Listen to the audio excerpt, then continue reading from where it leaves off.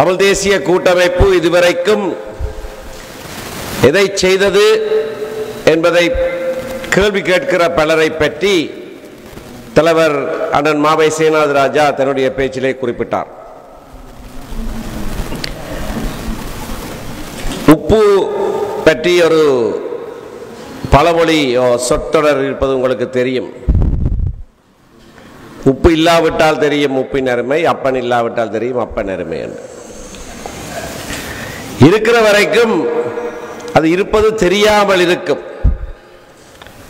இல்லாவிட்டால் அதன் அருமை தெரியும்.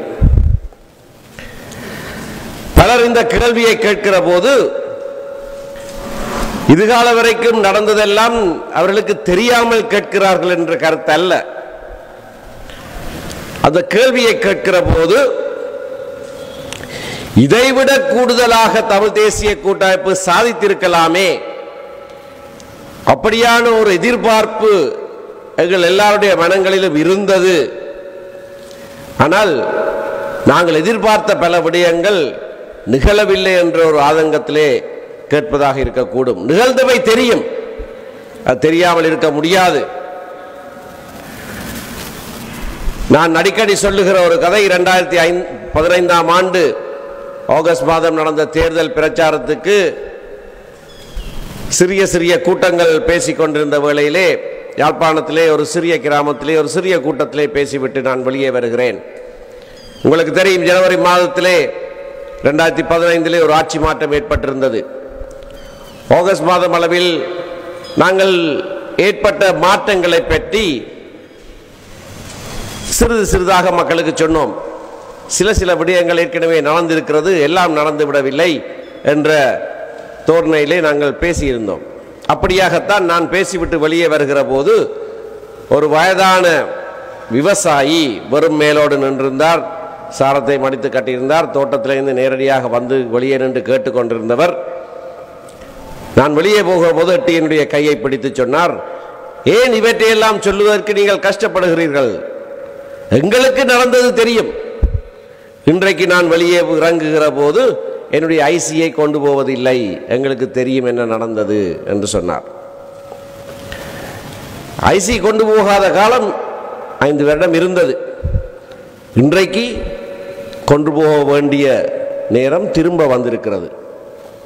தற்செயலாக நடந்தது எது என்பதை நாங்கள் மறந்து விட்டிருந்தாலும் அதை ஞாபகப்படுத்துவதற்காக என்னவோ பழைய வாழ்க்கையை ரெண்டாயிரத்துக்கு பதினைந்துக்கு முன்பதாக எப்படி இருந்தது என்று ஞாபகப்படுத்துவதற்காக சில கெடுபிடிகளை ஏற்கனவே நாங்கள் காண்கிறோம்.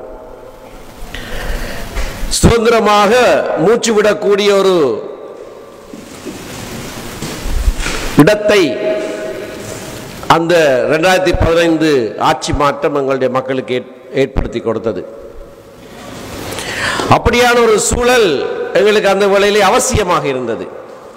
ஒரு அடக்குமுறை ஆட்சியில் இருந்து விடுபட்டு சற்று சுயாதீனமாக எங்களுடைய ஜனநாயக உரிமைகளை ஓரளவுக்கேனும் வெளிப்படுத்தக்கூடியதாக ஓரளவுக்கல்ல பெரும்பாலும் வெளிப்படுத்தக்கூடியதாக ஆர்ப்பாட்டங்கள் நடத்தக்கூடியதாக போராட்டங்கள் நடத்தக்கூடியதாக ஒரு சூழ்நிலை உருவானதை நாங்கள் மறக்க முடியாது.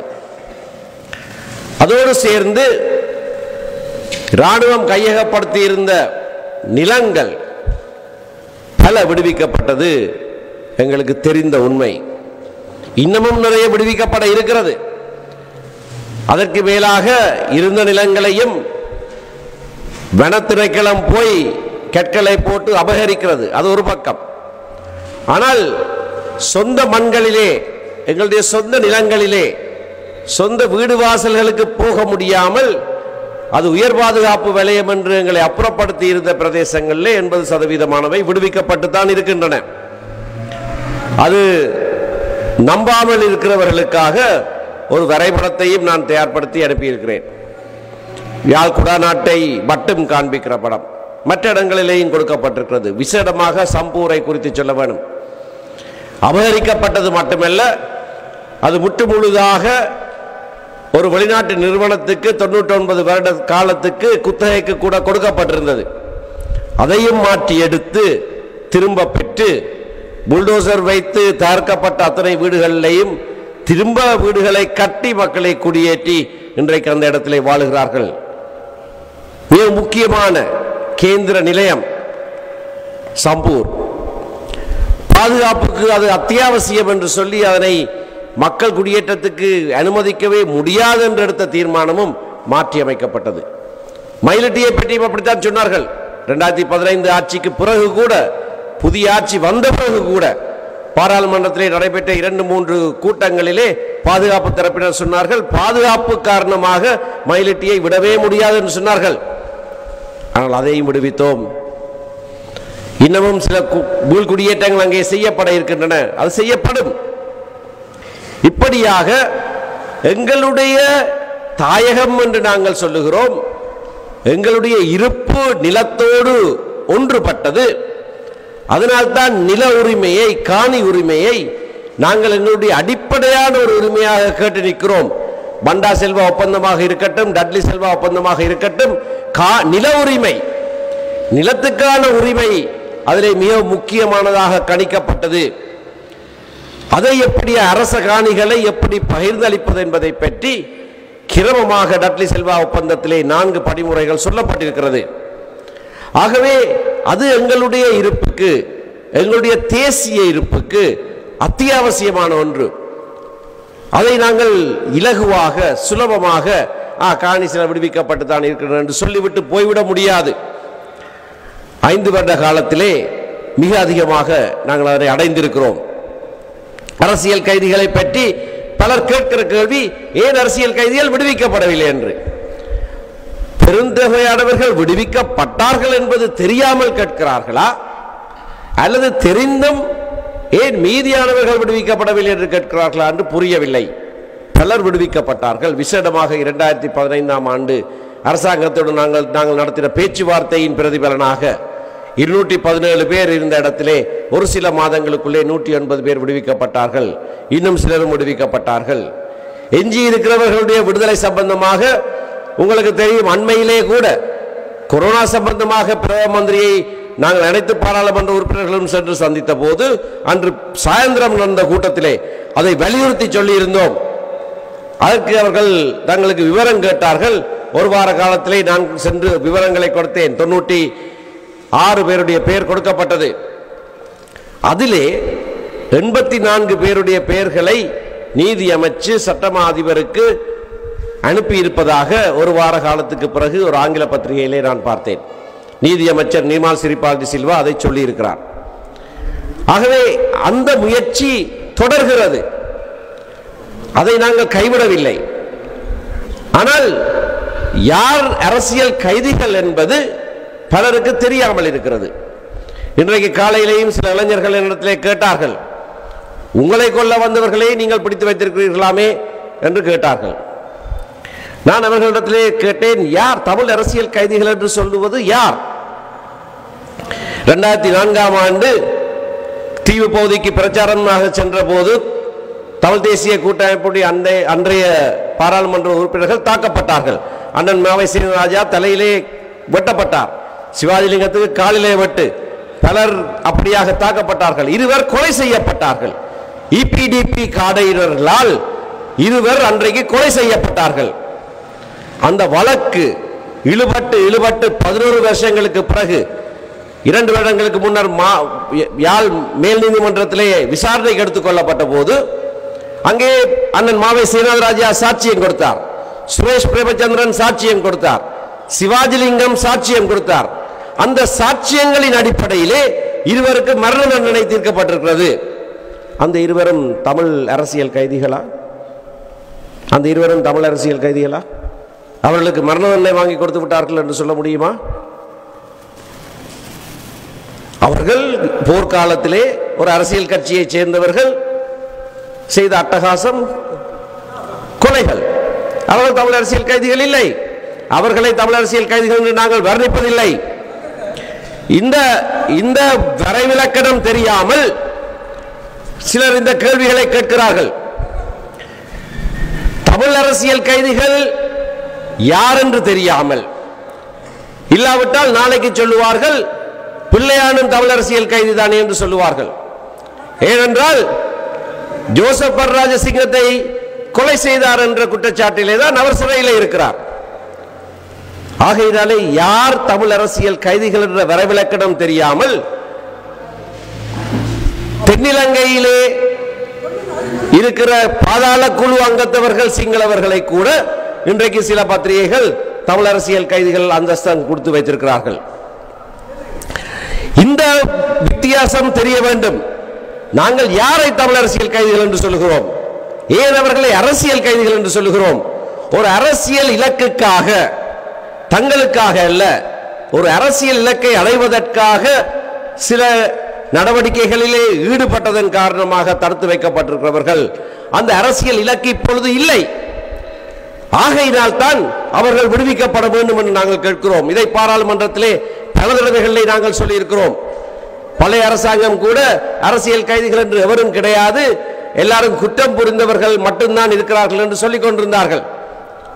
நாங்கள் அதை ஏற்கவில்லை.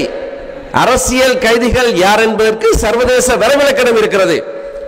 ஆகையினால் தான் சொல்லுகிறோம் அரசியல் கைதிகள் என்பவர் அரசியல் நோக்கத்துக்காக சில நடவடிக்கைகளை எடுத்தவர்கள். இப்பொழுது அந்த அரசியல் நோக்கம் கிடையாது. ஆகையினாலே அவர்கள் விடுவிக்கப்பட வேண்டும். அதற்கு மேலதிகமாக நீண்ட காலமாக சிறையில் இருக்கிறார்கள். அவ்வளவு காலம் அவர்கள் சிறையில் இருக்க வேண்டிய தேவை கிடையாது.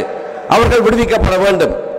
ஆனால் அவர்களையும் இன்றைக்கு அரசியல்வாதிகளை கொலை செய்வதற்காக முயற்சி செய்கிறவர்களையும் ஒன்றாக கணிக்க கூடாது அந்த தவறை எவரும் செய்துவிடக் கூடாது இன்றைக்கு அப்படியாக செய்யப்படுகிறது. ஒரு அரசியல் இலக்கை அடைவதற்காக செய்வதல்ல. அது ஒரு அரசியல் படுகொலையாக அவர்கள் முயற்சி செய்கிற சம்பவம்.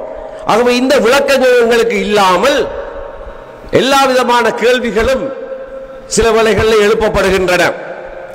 நாங்கள் இன்றைக்கு அடைய இருக்கிற அரசியல் இலக்கு என்ன என்பது எங்களுக்கு தெரிய வேண்டும். ஒரு நாட்டுக்குள்ளே நாங்கள் ஒரு தீர்வை தேடி நிற்கிறோம். அதை சொல்வதற்கு நாங்கள் பயப்படவில்லை. எங்களுடைய அரசியல் இலக்கு என்ன என்பது குறித்து ஒருவருக்கும் எந்த விதமான சந்தேகமும் இருக்கக்கூடாது. அதை எப்படி அடையப் போகிறோம் என்பதையும் திட்ட தெளிவாக நாங்கள் சொல்லியிருக்கிறோம். அதை ஒரு ராஜதந்திர முறையிலே பேச்சுவார்த்தையின் மூலமாக சிங்கள மக்களும் இணங்குகிற வகையிலே தான் அதை செய்வோம் என்று சொல்லியிருக்கிறோம். பல நிலைமைகளிலே பாராளுமன்றத்திலே தமிழ் தேசிய கூட்டமைப்பை தலைவர் ஐயா சம்பந்தன் சொல்லியிருக்கிறார் சிங்கள மக்களுடைய முதுகுக்கு பின்னாலே எதையும் நாங்கள் செய்ய தயாரில்லை. சிங்கள மக்களும் எங்களுடைய நியாயங்களை ஏற்றுக்கொள்ள வேண்டும். அவர்களும் ஒரு சர்வஜன வாக்கெடுப்பிலே இதற்கு ஆதரவாக வாக்களிக்க வேண்டும். அப்படியாக வாக்களித்தால் தான் அந்த தீர்வு நிலை நிற்கிறதாக இருக்கும். ஆகையினாலே அப்படியான ஒரு அரசியல் தீர்வு நாங்கள் வேண்டி நிற்கின்ற அரசியல் தீர்வாக இருக்கிறது. இன்றைக்கு நாங்கள் எதை கேட்டு நிற்கிறோம் எந்த வழியிலே செல்லுகிறோம் என்பதை பற்றி வீணாக மக்களை குழப்புகிற ஒரு செயற்பாடு நடைபெறுகிறது. அதை செய்கிறவர்கள் வேறு யாரும் அல்ல அதை செய்கிறவர்கள் இன்றைக்கு ஆட்சியிலே இருக்கிறவர்கள். இன்றைக்கு ஆட்சியிலே இருக்கிறவர்கள் அதை செய்கிறதை சிங்கள ஊடகங்களை நீங்கள் படித்து பார்த்தால் தெரியும். சிங்கள ஊடகங்களிலே தான் நேற்று முன்தினம் ஒரு கட்டுரை வந்திருக்கிறது. இந்த ராவண பலைய தலைவர் சொல்லியிருக்கிறார். ஐயா சம்பந்தனை பற்றியும் என்னை பற்றியும் சொல்லியிருக்கிறார். இவர்கள் நாட்டை பிரிக்க பார்க்கிறார்கள். இருவரையும் சிறையில் அடையுங்கள் என்று சொல்கிறார். நாங்கள் நாட்டை பிரிக்க சொல்லி கேட்கவில்லையே. என்னை பற்றி பல கட்டுரைகள் சிங்கள பத்திரிகையிலே வருகிறது. இவர்தான் நிலத்தை போய் விட்டு கொடுக்க போகிறார் என்று. ஆனால் அதே ஆட்சியாளர்கள் தங்களுடைய முகவர்களை வைத்து தமிழ் பகுதிகளிலே எதிர்பிரச்சாரம் ஒன்றை செய்கிறார்கள்.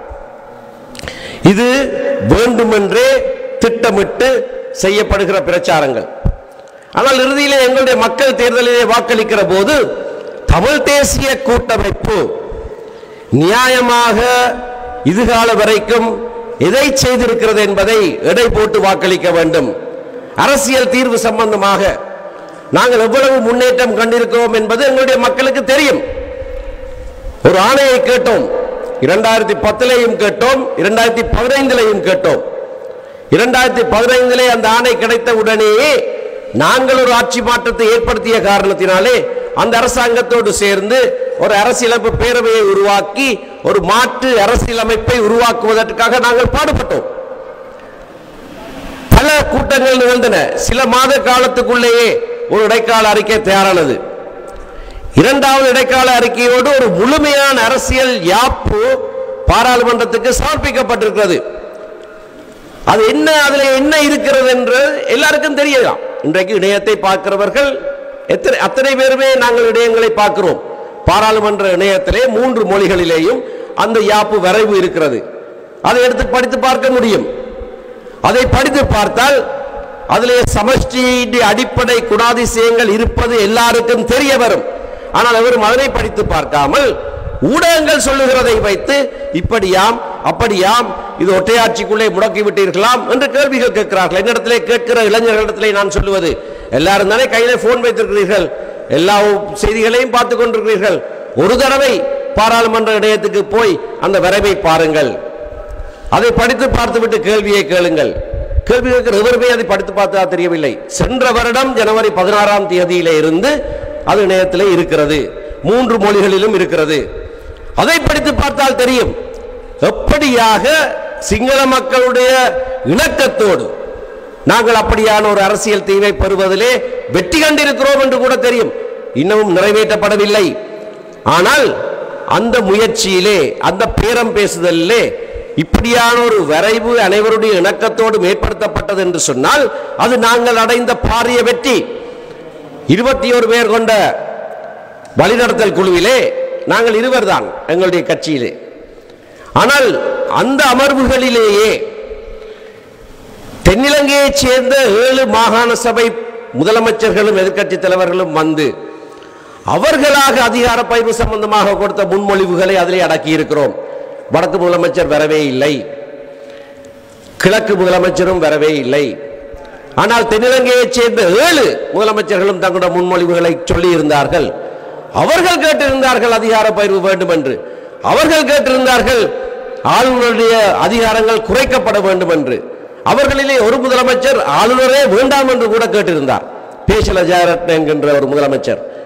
ஆகையினாலே இன்றைக்கு இருக்கிற சூழ்நிலையிலே அவர்களுடைய இணக்கப்பாடும் இந்த அரசியல் தீர்வுக்கு எட்டப்பட்டதாக இருக்கிற வேளையிலே தான் அப்படியொன்று வந்துவிடக்கூடாது என்பதற்காகத்தான் நாங்கள் ஆட்சியை கிளைத்தோம் என்று சொல்லி அக்டோபர் இருபத்தி ஆறாம் தேதி இரண்டாயிரத்தி பதினெட்டிலே ஆட்சி கலைத்ததை பற்றி பலர் சொல்லி இருந்தார்கள் உங்களுக்கு ஞாபகம் இருக்க வேண்டும். நவம்பர் ஏழாம் தேதி அந்த விரைவு வர இருந்தது. வர இந்த விரைவை நாங்கள் தடுப்பதற்காக ஏனென்றால் அது முழுக்க முழுக்க சமஷ்டி அது பிரிவினைக்கு கொண்டு செல்லும் என்று சொல்லி அதை தடுப்பதற்காகத்தான் இதை செய்தோம் என்று பகிரங்கமாக முக்கியஸ்தர்கள் அந்த கட்சியிலே இருந்து சொல்லியிருந்தார்கள்.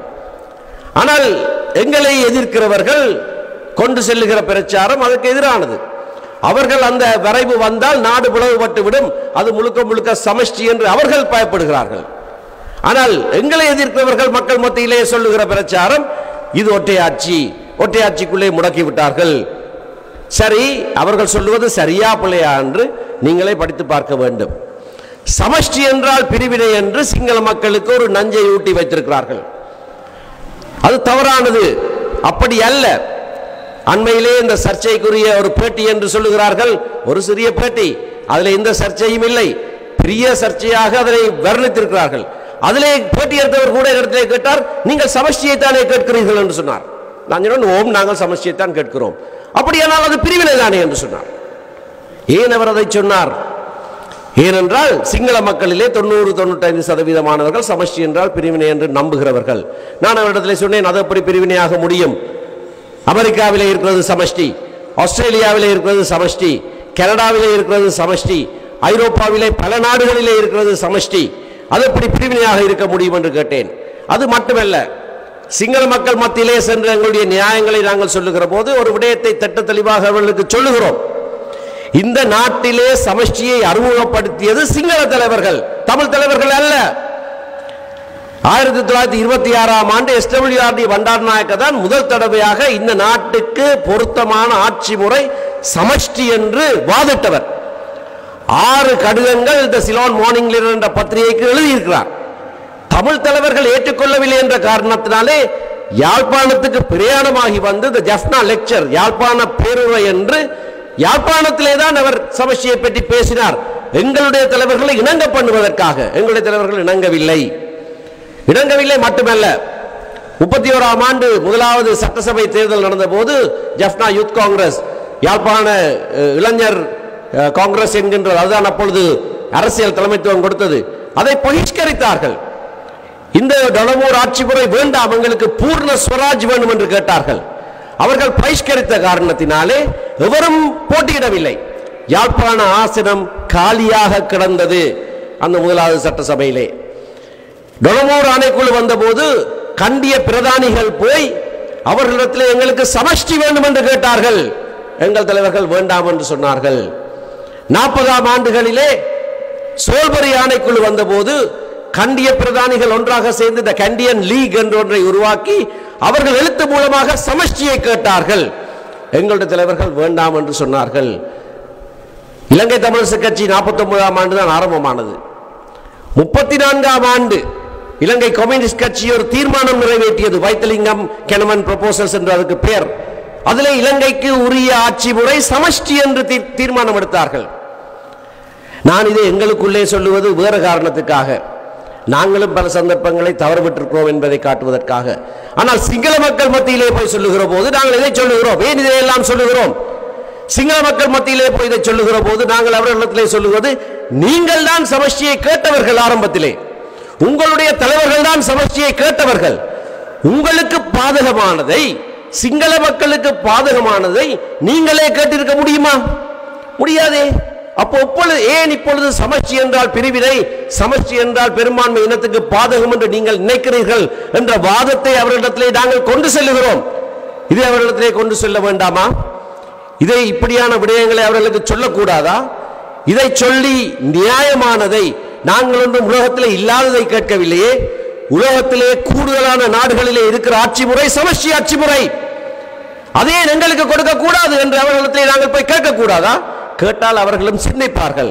அதை நாங்கள் செய்ய வேண்டும். ஆனால் அதை செய்கிற போது நிதானமாக பக்குவமாக அவர்களோடு பேச வேண்டும்.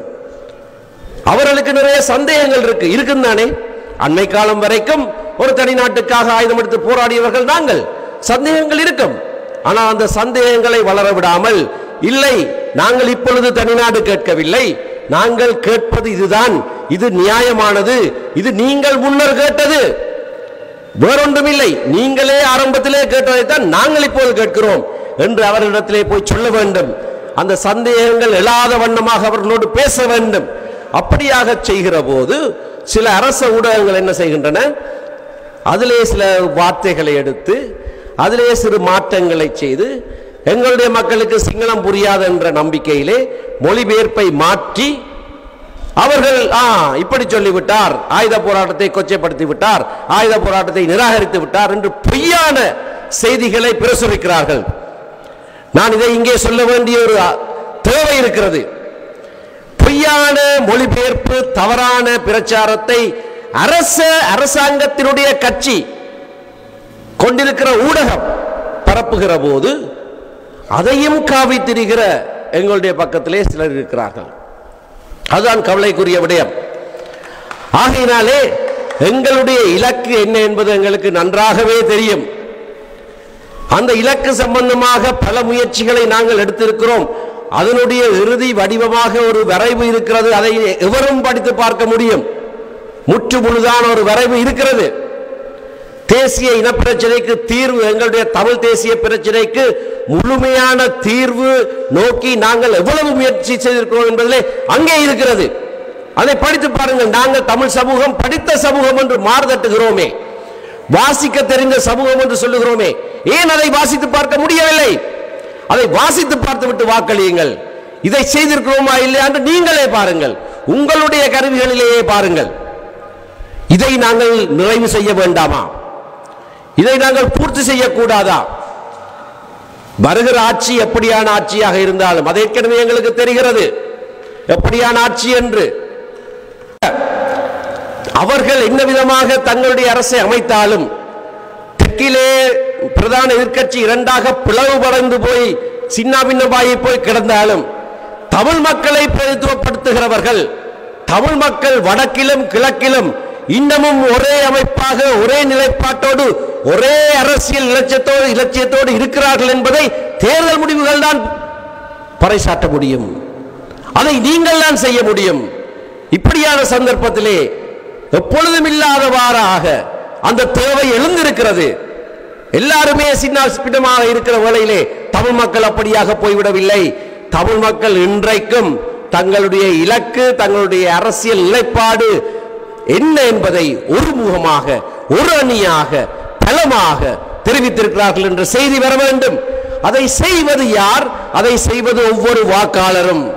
ஆங்கிலத்திலே சொல்லுவார்கள் the little man in a little booth little pencil little pencil marking a ஒரு சிறிய மனிதன் ஒரு சிறிய கொட்டைக்குள்ளே போய் ஒரு சிறிய பென்சிலினாலே ஒரு சிறிய புல்லடியை போடுவது. அது ஒரு சிறிய செயல் ஆனால் அந்த சிறு துளிதான் பெருவள்ளம். ஒவ்வொரு சிறு துளியும் எங்களுக்கு வேண்டும். அந்த ஒவ்வொரு சிறு துளியும் பெருவெள்ளமாக வரும்.